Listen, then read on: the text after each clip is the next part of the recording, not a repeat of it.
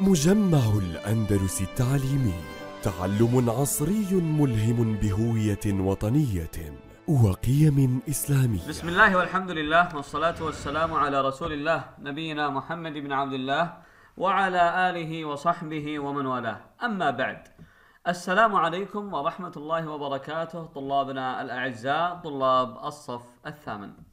اليوم مع درس جديد من دروس مادة التربية الإسلامية في مجال الحديث الشريف. ودرسنا اليوم بعنوان أدب الاستئذان الجزء الأول. نتعلم في هذا الدرس قراءة الحديث الشريف قراءة سليمة والتعريف براوي الحديث الشريف ومعاني المفردات والتراكيب الواردة في الحديث الشريف وشرح الحديث الشريف والدروس المستفادة من الحديث الشريف وحفظ الحديث الشريف غيبا.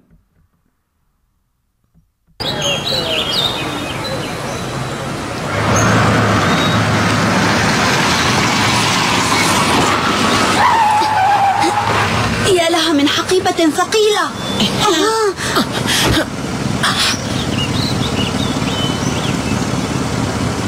زياد صديقي العزيز كيف حالك يا خالد؟ الحمد لله جزاك الله خيرا على مساعدتك يا زياد جزانا الله وإياك هذه الحقيبة ثقيلة بحق أين صديقنا عبد الرحمن؟ لقد أعتدتما المجيء معا إنه لن يحضر اليوم لأن والدته مريضة ولا بد أن يبقى بجانبها. شفاها الله وعافاها. لابد أن أزوره بعد المدرسة للإطمئنان عليها وأرى ما إذا كان يريد المساعدة. أبلغه سلامي حتى أراه في المساء إن شاء الله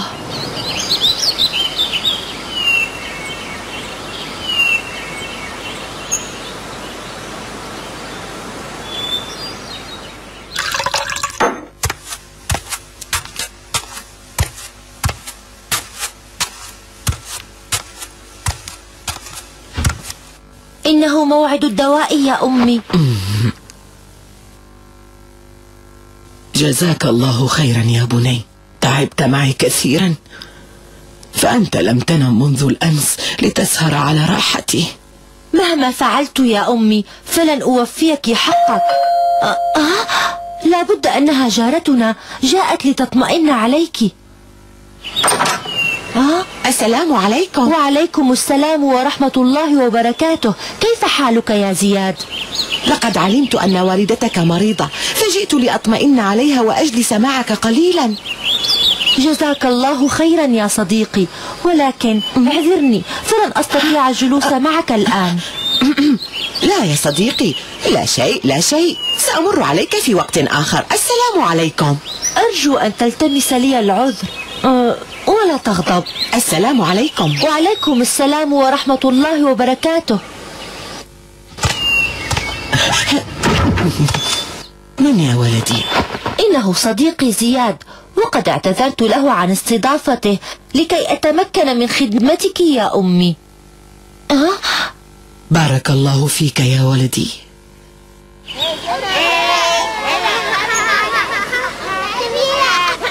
وحسرة على الصداقة. هكذا يفعل بي صديقي عبد الرحمن؟ يرفض استقبالي في منزله. هكذا تكون الصداقة؟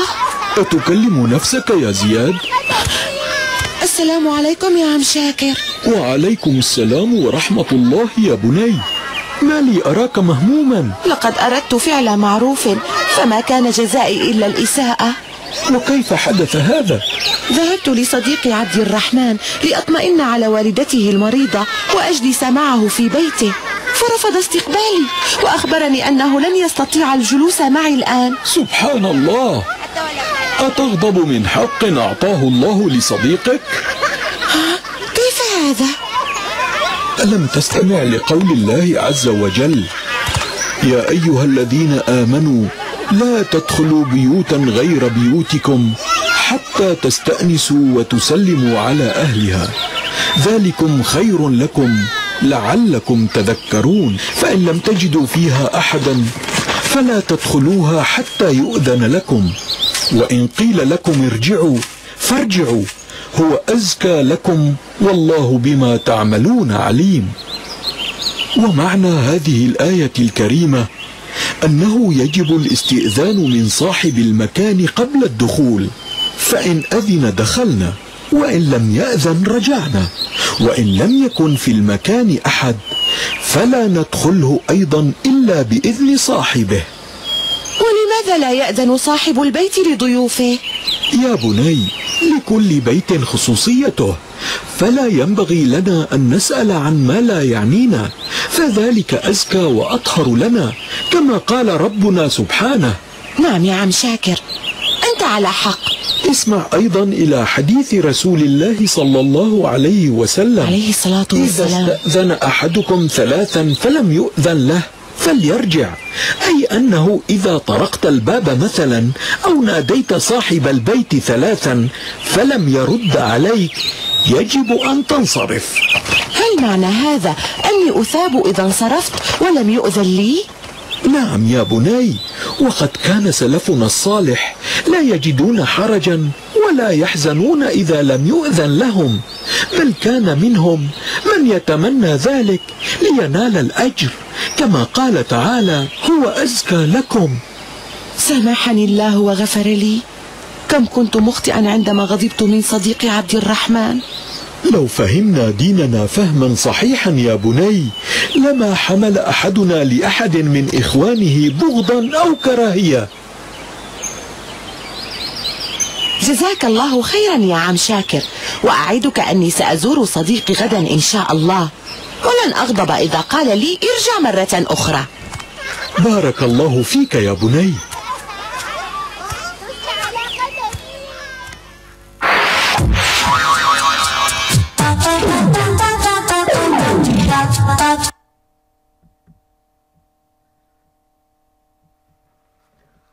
الإسلام دين يحافظ على الحقوق العامة والحقوق الخاصة للفرد والمجتمع سواء أكان في البيت أم في العمل.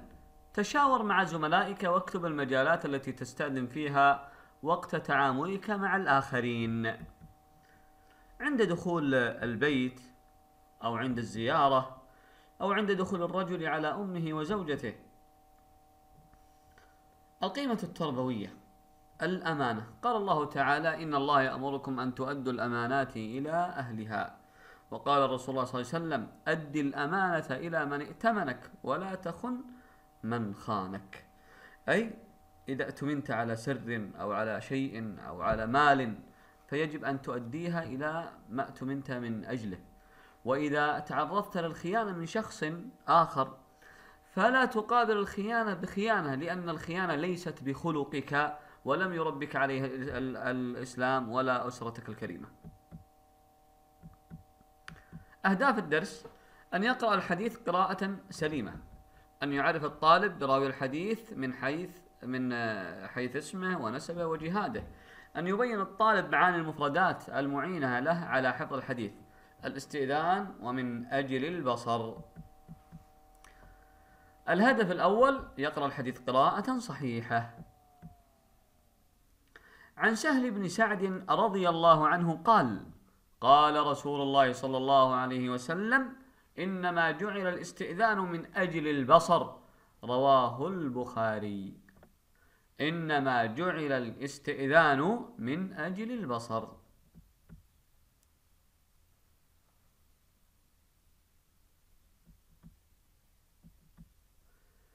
من منكم من منكم أيها الأحبة حفظ الحديث الشريف؟ إنما جعل الاستئذان إنما جعل ماذا؟ الاستئذان من أجل البصر. إنما جعل الاستئذان عن سهل بن سعد رضي الله عنه قال قال رسول الله صلى الله عليه وسلم إنما جعل الاستئذان من أجل البصر. الهدف الثاني أن يع- أن يعرف الطالب أن يعرف الطالب راوي الحديث من حيث اسمه ونسبه وجهاده. افتح الكتاب المدرسي صاد 38 واقرأ الفقرة الخاصة بتعريف الراوي الحديث. اسمه ونسبه سهل بن سعد بن مالك بن خالد بن ثعلبة الخزرجي الأنصاري. كان اسمه حزنا فسماه النبي صلى الله عليه وسلم سهلا. جهاده شارك في تبوك وكان من أصغر الصحابة روايته للحديث روى عن النبي صلى الله عليه وسلم 188 حديثا. من أبرز صفاته الفروسية وقيامه على خدمة الصحابة رضوان الله عليهم. وفاته توفي رضي الله عنه سنة 88 للهجرة وهو ابن 100 سنة وهو آخر من بقي من أصحاب النبي صلى الله عليه وسلم بالمدينة المنورة. سبب التسمية سهل بن سعد بن مالك بن خالد الخزرجي. كان اسمه حزنا فسماه الرسول صلى الله عليه وسلم سهلا. جهاده شارك في تبوك وكان من أصغر الصحابة. رواية الحديث روى 188 حديثا. منها 28 حديث في الصحيحين في البخاري ومسلم. أبرز صفاته كان فارسا وقيامه على خدمة الصحابة رضوان الله عليهم. توفي في سنة 88 وعمره 100 لو تلاحظون لها علاقة آه، روى 188 حديثا وفي نفس الوقت توفى عمره 100 وفي سنة 88 سنة وهو آخر من بقي من أصحاب النبي صلى الله عليه وسلم. حل النشاط 38 من الصفات التي أعجبتني في شخصية سهل بن سعد رضي الله عنه وأحب أن أقتدي بها اجتهاده في العلم والاهتمام كيف أطبقها؟ أطبقها بالاهتمام بدروسي والحرص على المذاكرة. الهدف الثالث أن يبين الطالب معاني المفردات المعينة له على حفظ الحديث الاستئذان ومن أجل البصر. الاستئذان معناه طلب الإذن لدخول مكان لا يملكه المستأذن. من أجل البصر أي بسبب منع البصر من الاطلاع على العورات والأسرار. عن سهل بن سعد رضي الله عنه قال قال الرسول صلى الله عليه وسلم إنما جعل الاستئذان من أجل البصر. الاستئذان معناه طلب الإذن لدخول مكان لا يملكه المستأذن. من أجل البصر معناه أي بسبب منع البصر؟ من الاطلاع على العورات والأسرار. ما معنى الاستئذان؟ هو طلب الإذن لدخول مكان لا يملكه المستأذن. من أجل البصر أي بسبب منع البصر؟ من الاطلاع على العورات والأسرار. إلى هنا وصلنا إلى الختام. وجزاكم الله خير. وكتب الله أجركم ورفع الله قدركم وأشكر لكم حسن الاستماع والإنصات والسلام عليكم ورحمة الله وبركاته. مجمع الأندلس التعليمي تعلم عصري ملهم بهوية وطنية وقيم إسلامية.